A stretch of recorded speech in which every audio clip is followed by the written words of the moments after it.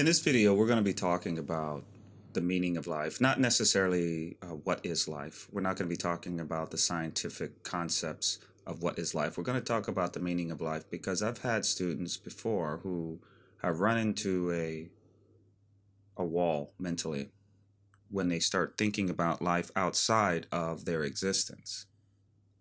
Life outside your existence can be a very scary thought because people are afraid to not exist. People are afraid to not know what's going on when they're not around. So, these few videos I'm going to make is going to answer those questions. Actually, these few videos are going to answer the question of technically the meaning of life, tools of life.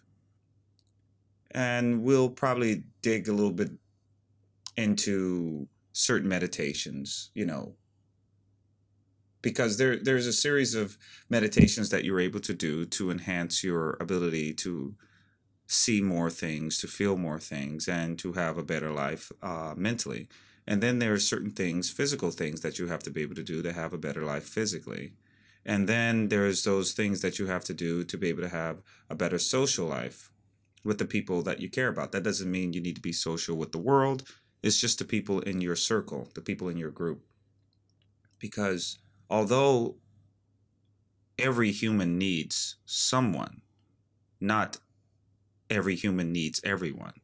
So it's not as important for you to go out and make a million friends, but it is important for you to have a friend or some friends and have a close knit relationship with them because that is your circle, that's your support group that's also a part of this this this uh, this whole thing that we're going to be talking about. Now, I'm not going to get too deep into what is life into this this uh this video because I want to take this in steps. I want you to understand that there's a difference between simple meditation, working in the mind, and working in life because life and meditation doesn't it's not one to one. Life is much more complex than that. Um, and the meaning of life is much more complex to that. You're not going to find the meaning of life sitting in a cave and meditating for the rest of your life. But you're also not going to find life by going out there and taking on the world. You're also not going to find life by meditating in books and education. It's a combination of all those things.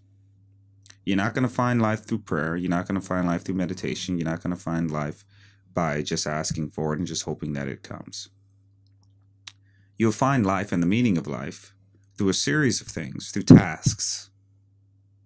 Um, and that's kind of what I'm going to give you. And I'm going to speak about the philosophies of life, the philosophies of what life means, uh, and how you can figure out what life means for you as an individual after you do these things, then you will start to notice that life becomes much more insightful and it becomes much more uh, exciting.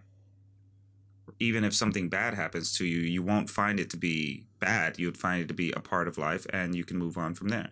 Especially when you understand what happens after life, after this existence, because we'll be talking about that also. So stay tuned, and we'll we'll get more into depth into that. And then, um, if you have any questions, you can email me at any time, uh, or just put them at the bottom of the video.